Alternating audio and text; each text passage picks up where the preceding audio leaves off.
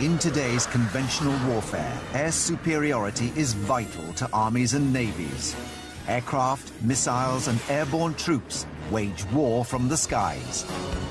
The origins of aerial warfare can be found in the ancient world.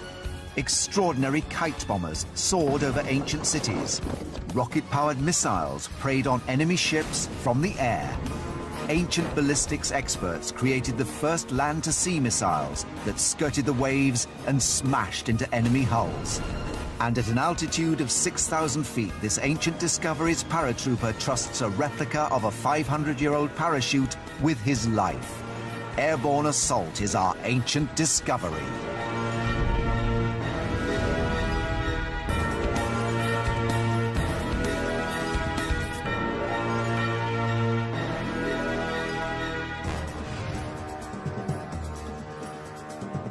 The medieval city was more than just a dwelling place. It was a fortress defended by monumental walls and towers. Some, like the great city of Constantinople, now known as Istanbul, had a series of walls and ditches. Others had single walls so massive they still stand after thousands of years. Attacking a well-defended city was a long and difficult process. Every tactical or engineering advantage was explored and exploited. Some ancient military innovators dreamed of attacking enemy fortifications from the sky. Here in the library of Christ Church College in Oxford lies a 700-year-old book that reveals an extraordinary airborne assault weapon, the kite bomb.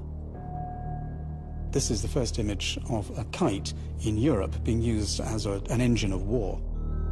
In 1327, this book was a coronation gift to the 14-year-old King Edward III of England from his tutor.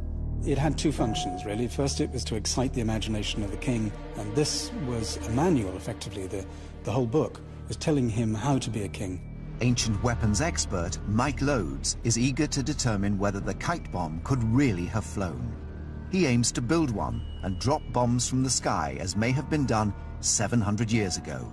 He's come to Oxford to examine the original manuscript. It's got boys' toys yeah. and machines, and what could be more exciting yes. than flying a kite and dropping a bomb? Absolutely. I think that must have been. this is almost the last illustration, and I think this must have been when he when he opened this, he must have laughed. I mean, thought, this is great fun. Is this complete fantasy? This possibly came out of the Crusades. Possibly he's been talking to old soldiers who said, "Well, there's a siege machine like this, and this is not at all fanciful." There's some evidence that kites were used in warfare in the ancient East, and the Middle Eastern empires of the ancient world had long mastered the art of explosives. European Crusader armies returning from the Holy Land brought back more than just gold and treasure. They also returned with ideas, the technology of the Arabs, the trebuchet, cannon, gunpowder, and as Mike and Justin suggest, the kite bomb. Could it have worked, do we think? Well, this particular engine, I, I, I think, is very practical, and it, it, essentially is a kite. It's a very large kite. It's holding, as we can see, some kind of device, which may be a bomb. The bomb would have been an incendiary device filled with naphtha or Greek fire, a highly flammable petrochemical substance known to the ancients. Like many petrol-based weapons, it was very hard to extinguish, even with water. They would often fling it at castles in great slings and trebuchets and things in earthenware pots. So it would seem to me that's very likely yes. an earthenware pot. But of course, you wouldn't actually want to burn a town down, would you? Well, no, it's the last thing you want to do is destroy the town. You want to take it and keep it. So uh, largely, this is to frighten the inhabitants of the town into giving up the keys. Many mysteries persist surrounding the kite bomb. Why are there three men holding it? And what is the large spool-like device they're standing next to? The best way to find out whether the kite and its firebomb would have worked is to build one and test it. Armed with his research, Mike has assembled a team of experts to reconstruct the weapon. My imagination has just been racing, and one can only imagine that the young Edward III's imagination must have raced as well. I bet he tried it. I bet he got some men to try it, but we're certainly going to try it. I really think it's anybody's guess if this thing is going to work. I mean, certainly in 1327, this was just the most astonishing concept of dropping a bomb from the sky. Based on their knowledge of medieval technology, Mike's team has recreated in detail the world's first aerial siege weapon What I love about what you've done here is you've filled in the 3D bit, because all we've got in the picture is this two-dimensional post. It's obviously there for a function. We know there are three men involved, and we, can get sort of correlate how much power they're going to be generating. So, I mean, we can get some idea of how substantial the whole thing needs to be. Because I think that's what the artist is doing with the picture. With his three men straining, he's saying this is an incredibly powerful I weapon. And he's trying to sell yeah. the power of the thing with the props, with the men, and with this. Martin Lester is a specialist kite maker. But what I love about this is it looks exactly the same as the one in the lorry. What sort of surface area have we got here? It's about 30 square feet. It's about seven foot high, five foot wide. The cloth for the ancient kite would have been silk and the wooden struts willow. The thing about using wood and silk is that there's no guarantee that everything will flex the same amount. You need a long tail to help stabilise it and counteract any imbalance in the head of the kite. I'd quite like to see it up there. Let's do that now. What do we have to do? Well, I've got the line tied on.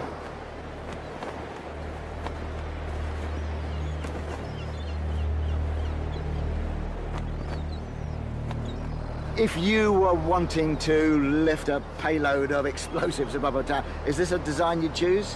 It is. I mean, you want a, a nice steady kite, something that's not going to chase around all over the place with the wind. Well, it um, is. A, it is a, a very well-behaved kite. And with the long, it's being obedient. Well, the long tail just helps steady the whole kite. I mean, that's, that's um, the deal of the tail. Hundreds of years before the invention of modern aeroplanes, it was known that all aerodynamically stable devices require a tail. It's relatively easy to produce lift, but such lift must be balanced by the weight and drag of a tail. The two forces act against each other, but in unison, to give balance. And it makes it look really spectacular too. Yeah. So, is this, do you think, just, just a spool to wind it in when we finish, or could it serve some function? Well, it's. I mean, if, if the wind's pulling really hard, you're not going to be able to hold this by, you know, a couple of people wouldn't be able to hold this. So you'd need a capstan which takes all the main pull, and then you need little, you don't need so much tension on this side. If it was going 20 miles an hour, I wouldn't be able to control this by myself. The weather turns and it begins to rain, but Mike and the group continue with their experiment. What looks like a double string in the original illustration has led Mike to believe that the ancient kite bombers may have threaded a second string through a brass ring on the kite. This second string would have hauled the bomb up to arm the device. The bomb casing is made of earthenware. It contains four pints of flammable agent with a total weight of five pounds. Though kites can fly in the rain, there's one weather condition that will defeat every kite on Earth. The wind's just dropping too much here for us to be able to do this at the moment. And this obviously would be the frustration, that kites are completely dependent on wind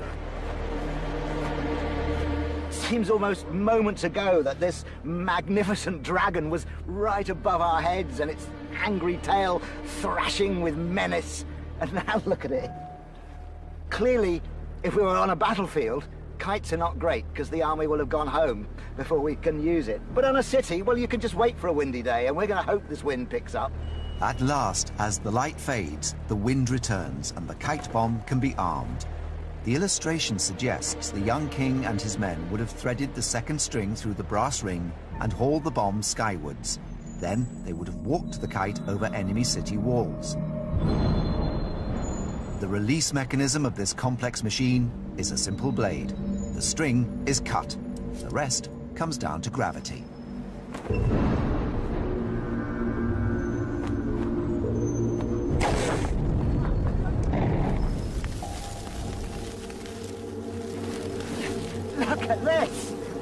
Have got wet, burning sand. It's a light on a wet beach, so this is really going to take out a town. You imagine a medieval town with all its thatch and its wooden buildings. Our kite works, our bomb works, our targeting is good. This would be a terrible terror weapon. The kite could have held an entire city to ransom as the shocked inhabitants recoiled in horror. Whether the kite bomb was ever used in warfare is not recorded, but this ancient airborne assault weapon certainly was. It was designed to attack not cities, but ships, and was one of the most successful weapons in an important war. Its secret? It bounced its deadly cannonballs over water, straight into the hulls of enemy ships. In 1452, the Turkish Sultan Mehmet II prepared to lay siege to the great city of Constantinople. Protected by 14 miles of walls, 15 foot wide, the city was thought by many to be unconquerable. This only made the Sultan want it more. His father had besieged the city, his grandfather had besieged the city, all his ancestors had been trying to take Constantinople. He wished to be the Sultan who achieved this great feat.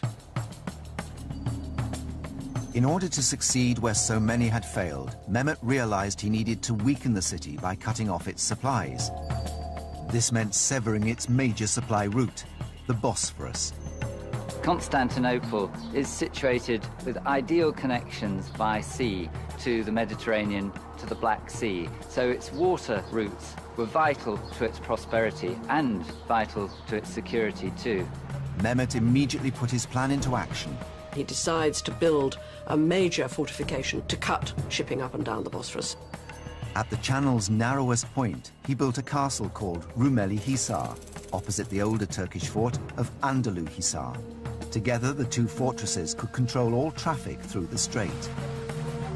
To prevent ships passing through, Mehmet relied on his cannon. A familiar sight on the battlefields of medieval Europe, the cannon was a powerful weapon that could fire a stone ball up to 3,000 feet.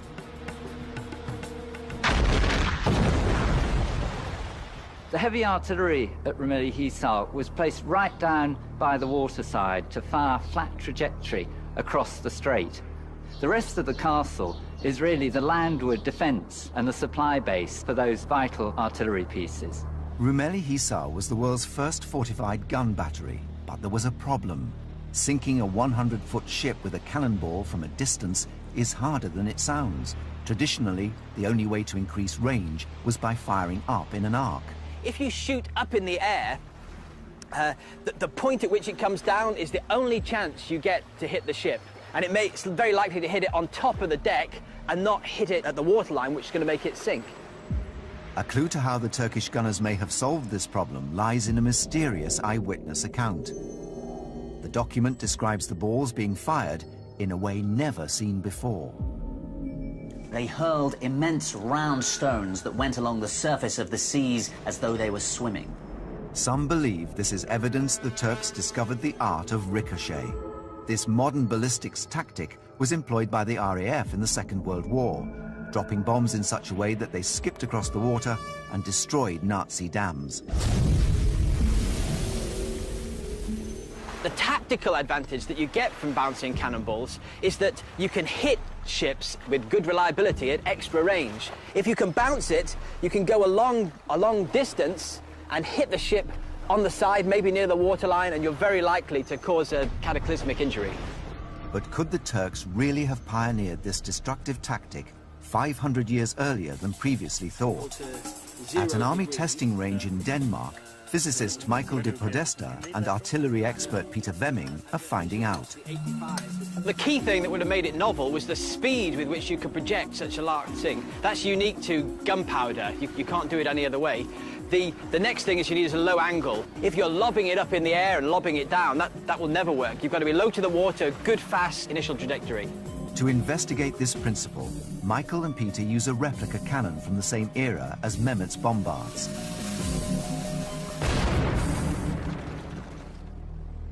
The ball hits the water at 300 feet per second and bounces first time.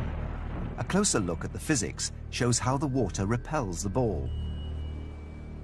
First of all, if we look at why critical speed is important, if we take the ball and try and move it through the water, we can see that at a low speed, the particles of water, the molecules are moving around and they're getting out of the way of the, the sphere and they're flowing around it. And if we increase our speed to beyond the critical speed, we'll find that the water effectively acts as a solid and that if we hit it fast enough, the ball can't penetrate it at all.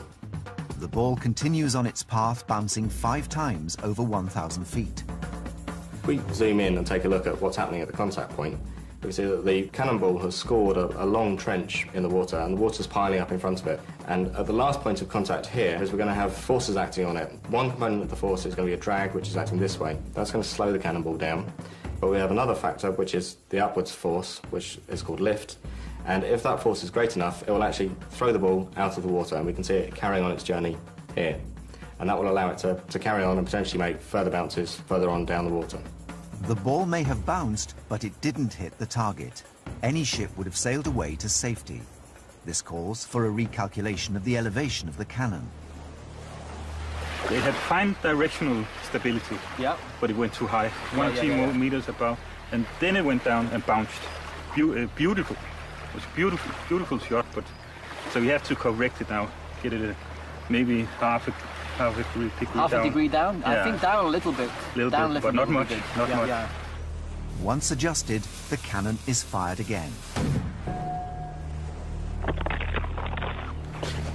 Once again, the ball can be clearly seen bouncing across the surface of the water.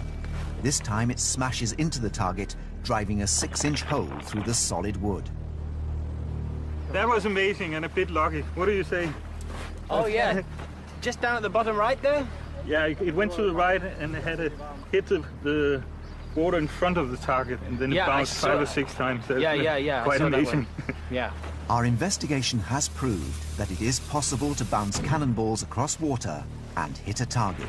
They must definitely have been able to do this. this. It's just completely... It's taken us a few shots to get it right, but it's definitely... They must have been able to do this. On the Bosphorus, this tactic was soon put to the test. On the 25th of November 1452, just three months after the fortress of Rumeli Hisar was completed, a Venetian trading ship refused orders to stop and was fired upon. So if you can imagine what, what you would actually see if you were on a ship and someone had fired this towards you, it would take many, many seconds for the... Uh, you'd, you'd see the flash of the cannon, you, a few, little while later you'd hear the bang, and then you'd see perhaps a few dots on the water, and then bang, there'd be a hole in your ship. The ship was sunk and its 30-man crew executed.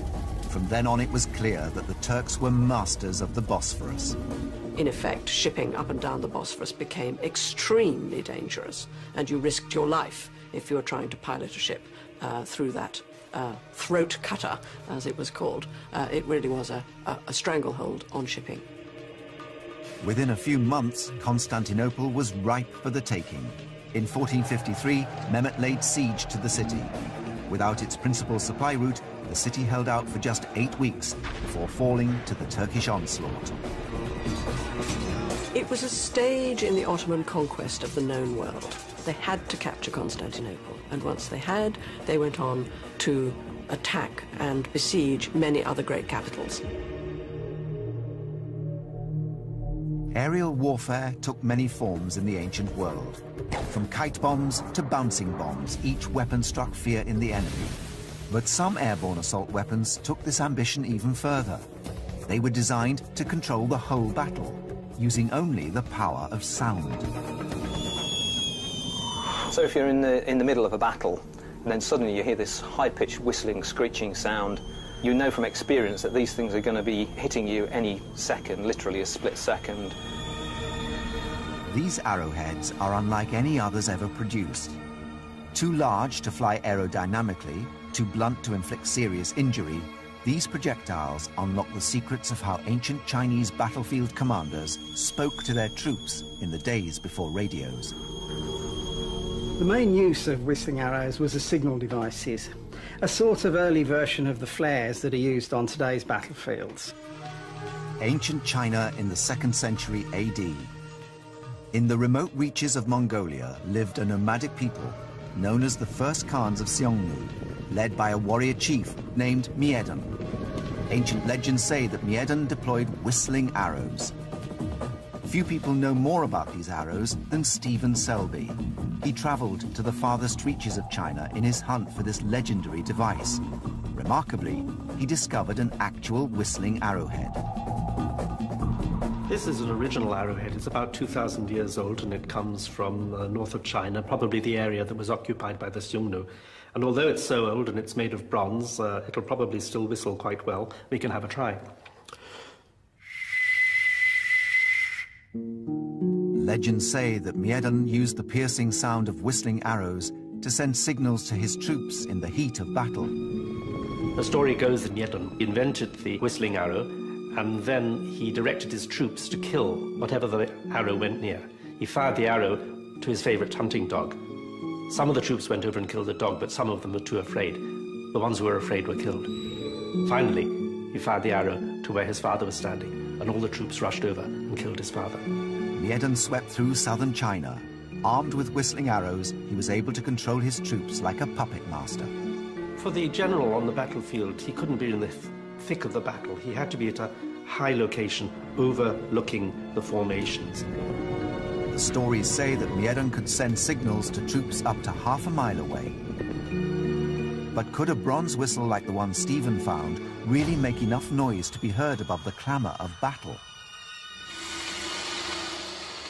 I've spent a lot of time making pipe organs and making whistles and pipes of various sorts. So this was actually quite an interesting challenge to, to, to work out exactly how these um, these things operate. And basically, it's like most whistles. We've got a sound chamber.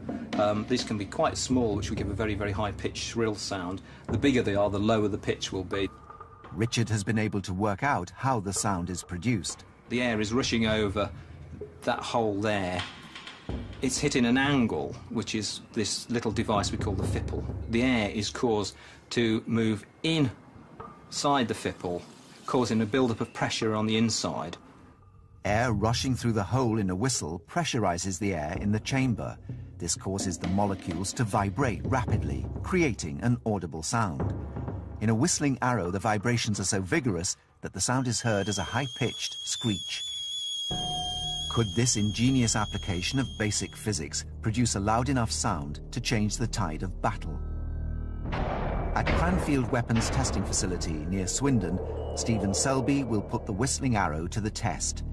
He's rigged up a decibel meter to gauge any change in audio level. We've fixed up this sound meter here, and it's on the wall just at the place where the arrow is going to fly past and it'll continuously measure the sound, but when it reaches the loudest level of sound, it'll just freeze there, and then after the test, we're going to be able to read off what the maximum sound level was.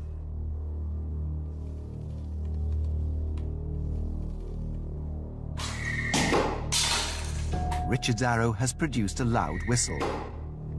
This meter here has given a reading of 86 decibels, and I think that that's quite good and loud, and it should have made a pretty good impression on the battlefield. This is over the legal noise limit for motorcycles in Britain and the whole of Europe.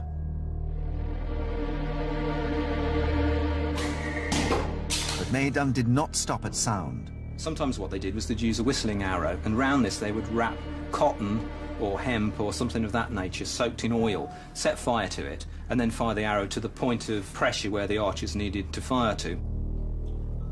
Most military systems have a backup, known as redundancy. Thus, Miedan complemented the whistle with a visual cue. Fire. I think it would have really made an impression on the battlefield. You could definitely hear that a long way away. And uh, with more time travelling further, I think it would have been a very good signal. Our experiments have shown how these arrows both unnerved the enemy and revolutionized the way troops are commanded in battle. A battlefield is terribly confused. It's terrifying. Even before firearms, there was smoke there would be dust, there would be rain, there would be mist, all sorts of confusing situations. An arrow that flew over with a sound and a smoke signal was a very clear signal compared to anything that was happening at ground level. The whistling arrows were a means of directing troops in battle. But to rain down destruction from the air, ancient commanders had to wait until the invention of gunpowder and the rocket. It was a device that struck fear on the battlefields of medieval China. A winged bird flying at a speed unseen in nature. It was called the Magic Flying Crow. The fact that an explosive charge was carried inside the Flying Crow and was intended to be detonated suggests that it was originally conceived as a weapon of mass destruction. The magic flying crow is described in an extraordinary ancient Chinese text dating from the late 14th century, the Firedrake Artillery Manual. It is basically the model of a bird, complete with wings and tail, propelled by four rockets. These drive it into the vicinity of the enemy and then ignite an explosive charge inside the device. So it's an early version of a modern artillery rocket. Were the Chinese the first to develop effective military rockets over 700 years ago? Did they have the technology? Modern rocketeer Ben Jarvis is investigating stories of what could be history's first rocket warheads. He's recreated a magic crow using the precise dimensions and descriptions in the fire drake manual. The wings of the crows would have been made out of a lightweight wood such as balsa wood or basswood, and uh, they probably would have carved them to give them a slight aerofoil. The purpose of this would have been to actually allow the crows to glide for a greater distance after the rocket engines had stopped burning. Ben has unearthed evidence of an aerodynamic design. It's quite impressive that they were actually able to realise the importance of, of having a tail um, in order to aid stability. The ancient Chinese engineers powered their device with a mixture they called fire chemical, that we know as gunpowder. It was the Chinese who originally invented gunpowder. Um, it's, it's actually a fairly simple uh, combination of saltpeter or potassium nitrate mixed with sulfur and charcoal. The Chinese developed an ingenious technique of transforming gunpowder into rocket fuel. This is, this is a simple gunpowder rocket engine. When compressed under high pressure, uh, gunpowder uh, becomes basically like a solid block, um, and it, it can then be lit and it will burn from one end to the other in a controlled fashion rather than just going bang. Computer scientist James Dean has modelled how this explosive fuel was able to power the ancient Chinese rocket based on the specifications in the Fire Drake manual. Let's take a look at an ancient Chinese rocket and see how it might work. Here you can see there's a body of a rocket, and contained within it, we've got some solid fuel. And the principle is that when we ignite the solid fuel, it's going to very rapidly create a lot of gas, which has a much higher volume than the solid fuel that we started with. So if we take a look back at the wider scale, we can see the rocket body, and let's see what happens when we ignite the fuel. And you can see that it's producing a lot of high pressure inside. And so effectively the body is pressing on the gas and ejecting it out the back. And because of principle of every action having an equal and opposite reaction, the gas in turn applies a force to the body, which is what accelerates the rocket and makes it travel off in a straight line. This simple principle of physics powered the rocket and its deadly payload. The crows were hollow, made from bamboo, and were probably packed completely full of loose gunpowder, probably in a fairly coarse mixture, so that uh, when the fuse from the rocket engines burnt through into it, it would cause a huge fireball to set fire to whatever it was being aimed at. We've done all the work we can. We've built what is hopefully a fairly accurate historical representation of one of these exploding crows. Um, all we can do now is go and see whether or not the, the world's earliest cruise missile ever actually would have worked. Ben Jarvis has teamed up with explosives expert Paul Birch to explore the destructive power of the magic flying crow. We're going to do this first test without the explosive warhead in the Crow. The, the main reason is this is a very unusually shaped rocket, and anything with wings can uh, inherently be very erratic. So, uh, we, before we put explosives on board it, we want to launch one, um, see how it flies, uh, see how far it flies as well, and then make any adjustments before we add that extra level of danger of putting an explosive warhead on the front of it.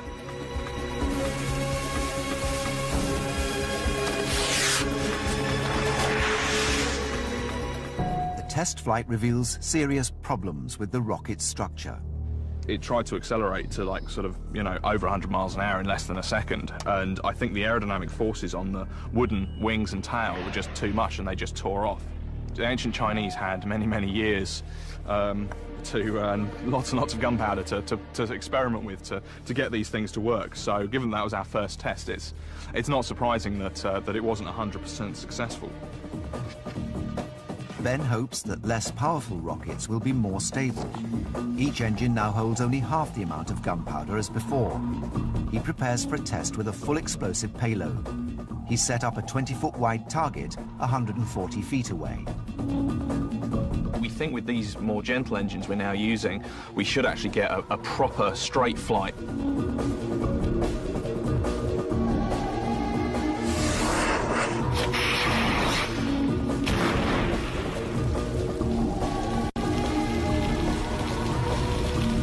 With a charge of sort of half a pound of gunpowder, which is roughly what we had in these crows, um, you really wouldn't want it to land anywhere more than 40, 50 feet away from you, otherwise you'd be in real trouble. Seven centuries after the magic crow was first described, Ancient Discoveries has revealed the devastating truth behind the legend of the flying bird bomb.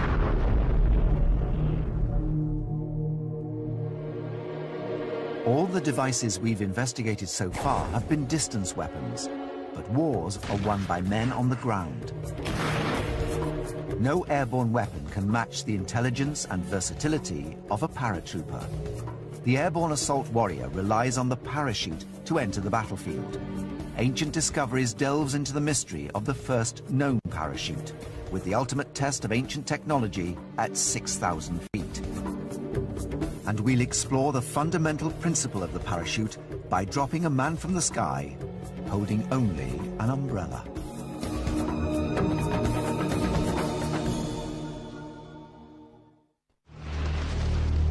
British Army skydiver Jay Webster is 6,000 feet above the ground. He's about to leap out of a hot air balloon using just two umbrellas as a parachute. Jay is investigating an ancient Chinese 12th century text known as the Lacquer Table History. It records how a thief escaped from the top of a 140-foot mosque in the city of Canton by using two umbrellas to float to the ground. But is this possible? Three, two, one. See ya. Bye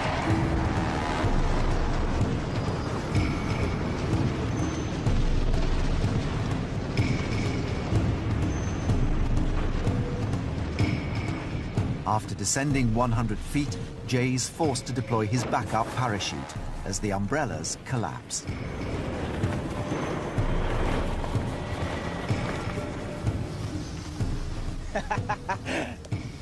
Oh, that was awesome. Yeah, it was really good fun. Uh, the umbrellas lasted a, a, a real lot longer than I thought they would. The main reason the umbrellas worked for 100 feet is because they were able to create drag or air resistance before collapsing under the extreme forces at work during the 120 mile per hour descent. By creating a force opposite to gravity, the umbrellas slowed down Jay's descent. This is the principle that underpins modern round parachutes. It may well have saved the Chinese thief's life when he leapt from the top of the mosque. But this was not man's only attempt to conquer the skies. In 1617, the world's first known successful parachute test was carried out from a four-story building in Venice. The parachute was built by Croatian inventor Faust Verancio. Hardly anybody's heard of him, um, and it's only now that this has come to light that, um, realistically, I think that um, he, de he deserves a lot more credit. Yet much mystery and intrigue surrounds this extraordinary milestone in man's quest to conquer the skies. Although Verancio left a clearly printed diagram of his parachute, he makes no reference to the materials he used or how they were attached to each other. This has led many researchers to doubt the claim that Verancio was history's first parachutist. The search is on to understand how Verancio could have succeeded where other ancient inventors had failed. The greatest Renaissance inventor and artist of all was Leonardo da Vinci. In the 15th century, Leonardo imagined and sketched what is generally considered to be the first design for a parachute. But there's no evidence that Leonardo ever built or tested his parachute. It simply remains a design confined to the pages of history. A century later, Verancio set out his own design for a parachute, possibly influenced by Leonardo's sketch. Whatever drove him to do it, uh, possibly he might have seen somebody jumping from a burning building. Uh, which would have not been a very pleasant sight, and that might have inspired him because there would have been some sort of inspiration to develop this. Uh, so there must have been a need. He wouldn't have designed it and built it and jumped it uh, just for the hell of it. I don't think. I think it would have been a there would have been a need, um, and I think that his only experience of people coming from great heights would have been a bad one. So I think that it would have been with a lot of trepidation. Using the illustration, leading skydiver Ray Armstrong and parachute rigger Alex Flint are attempting to recreate and test the Verancio parachute. One of the biggest challenges were, was the, the simplicity of the drawing and how small the drawing was that we had to work from, and trying to second guess how it would have been constructed. For example, we knew that, that he jumped it and that he survived, so therefore there were certain things that would have to be, uh, have to be in place. The, the thing would have to remain uh, in one piece by the time it hit the deck. In the 17th century, Verancio would have faced the challenge of finding strong but lightweight materials. Based on the, uh, the sketches that uh, were available from uh, Veranzio, uh, we saw that there was a it was essentially a wooden frame with a fabric covering. The bamboo, we've decided to go with that because it's light and strong and would have certainly been available at the time. For the fabric, the team has decided to use habutai, a type of silk that's lightweight and strong. It's comparable to the silk that would have been available to Verancio in the 17th century. But they need to use a sensible and reasonable interpretation for what the design does not explain. The problem that we'd have is if we were to, to lash it to it, which some people have interpreted that it was just um, almost sewn to the edge, then it would have point loading, which would weaken the parachute, and potentially it would then start disintegrating uh, during the descent. So a simple thing to do would be just to put a sleeve so that we've um, we constructed it so that the poles can then just be fed up into it. So then it spreads the load all the way across the sides of the parachute, and the fabric then is, is just decelerating as the wooden frame is, is taking the brunt of it. According to historical sources, Verancio successfully landed his parachute from four stories up, a height of around 200 feet. But if our skydiver is not successful, he could be killed.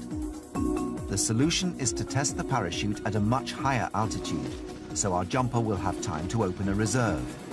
The goal is to see if the chute lasts the 200 feet necessary to have landed Verancio safely on the ground.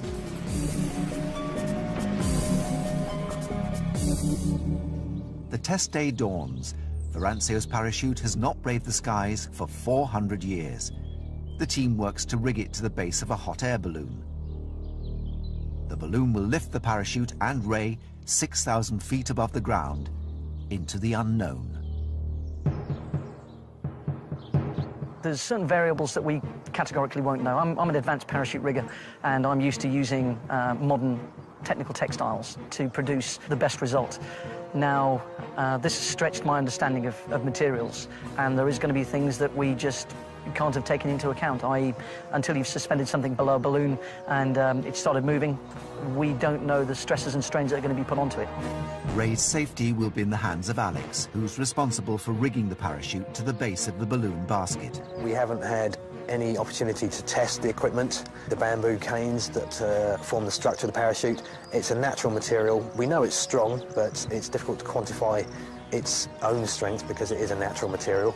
400 years ago, Verancio had no idea if the parachute would break his fall or disintegrate and send him plunging to his death.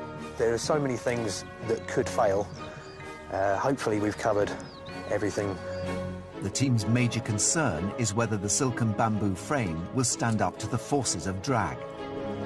The real test of this parachute is if we can drop and fall for five to ten seconds with it staying intact, then it has been a success because that would have been enough time to slow the descent down so that he would have survived. The most critical part for the team is the initial takeoff. We have to get the balloon off the ground, get the parachute under the balloon, and then Ray under the parachute. Before every jump, yeah. I do get a bit nervous.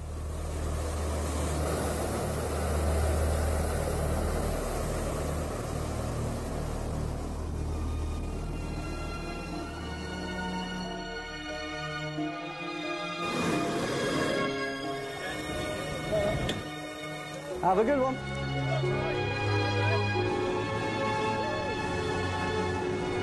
The balloon takes 12 minutes to climb to 6,000 feet. If the parachute holds together for 10 seconds after its release, it means Verancio would have survived. The moment of truth has arrived. Okay. Ready? Three, two, one, go!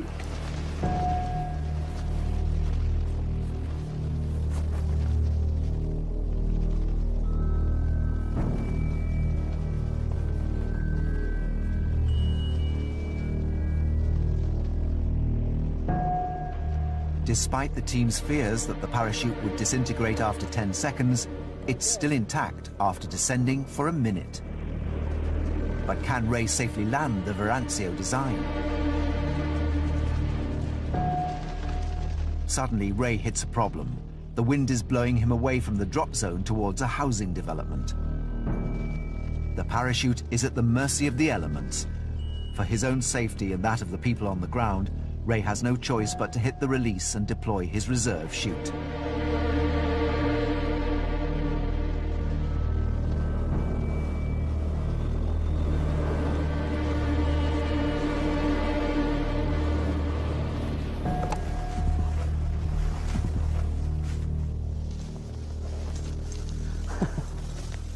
That was fantastic, absolutely fantastic.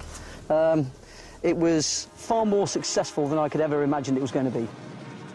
I was expecting a descent rate of 50 feet a second, and it was descending at about 22, 26, which is a, a very, very, very survivable rate of descent. A descent rate of 22 feet per second is comparable to the modern parachutes used by today's skydivers and base jumpers.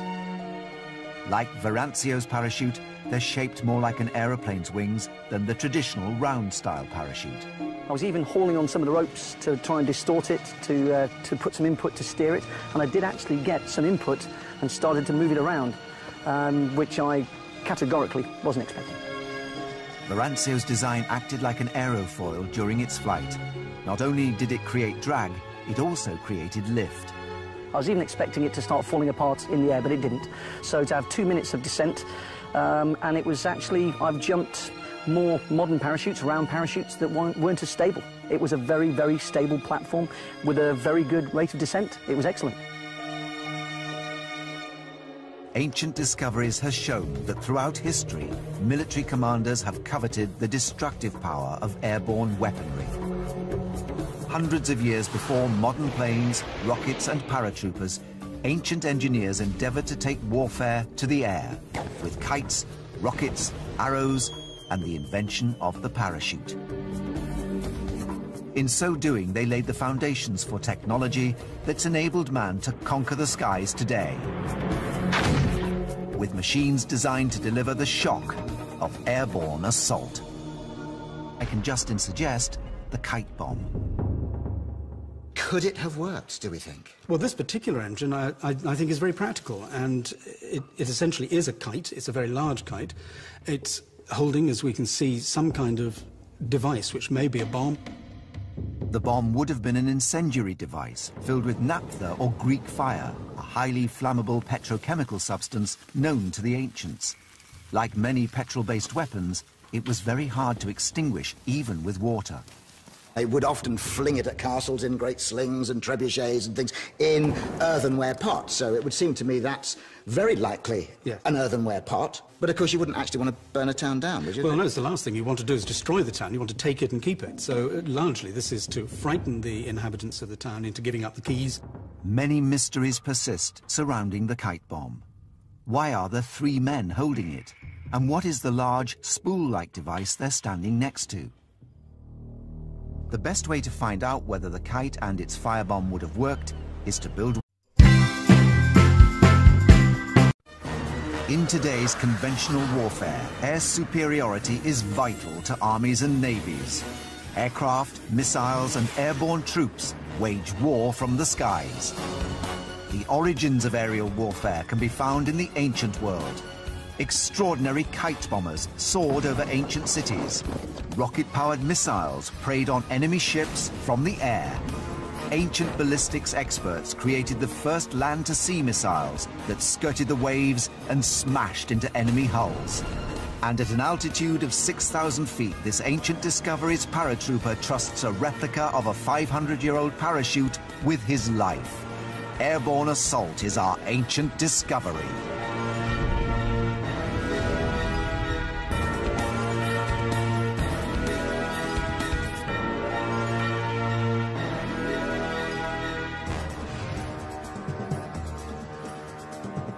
Medieval city was more than just a dwelling place.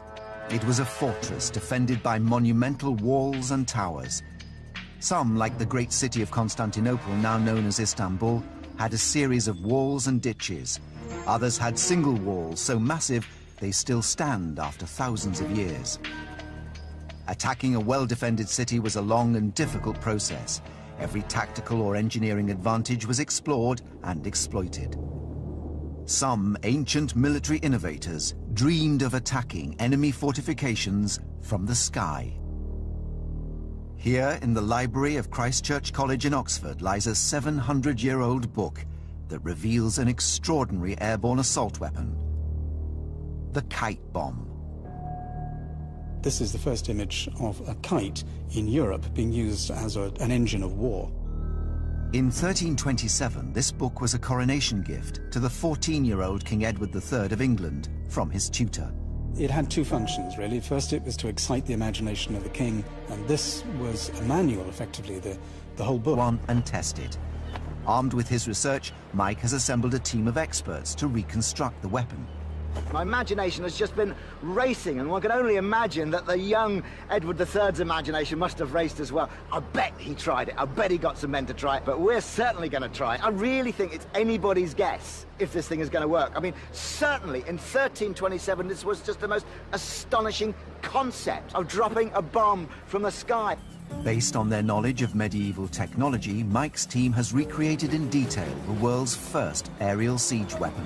What I love about what you've done here is you've filled in the 3D bit, because all we've got in the picture is this two-dimensional post. It's obviously there for a function. We know there are three men involved, and we, we can get sort of correlate how much power they're going to be generating. So, I mean, we can get some idea of how substantial the whole thing needs to be. Because I think that's what the artist is doing with the picture. With his three men straining, he's saying this is an incredibly powerful I weapon. And he's trying to sell yeah. the power of the thing with the props. With Look, was telling him how to be a king. Ancient weapons expert Mike Loades is eager to determine whether the kite bomb could really have flown. He aims to build one and drop bombs from the sky as may have been done 700 years ago. He's come to Oxford to examine the original manuscript it's got boys' toys yeah. and machines, and what could be more exciting yes. than flying a kite and dropping a bomb? Absolutely. I think that must have been. this is almost the last illustration, and I think this must have been when he when he opened this, he must have laughed. I mean, thought, this is great fun. Is this complete fantasy? This possibly came out of the Crusades. Possibly he's been talking to old soldiers who said, "Well, there's a siege machine like this, and this is not at all fanciful." There's some evidence that kites were used in warfare in the ancient East and the Middle Eastern empires of the ancient world had long mastered the art of explosives. European Crusader armies returning from the Holy Land brought back more than just gold and treasure. They also returned with ideas, the technology of the Arabs, the trebuchet, cannon, gunpowder, and as much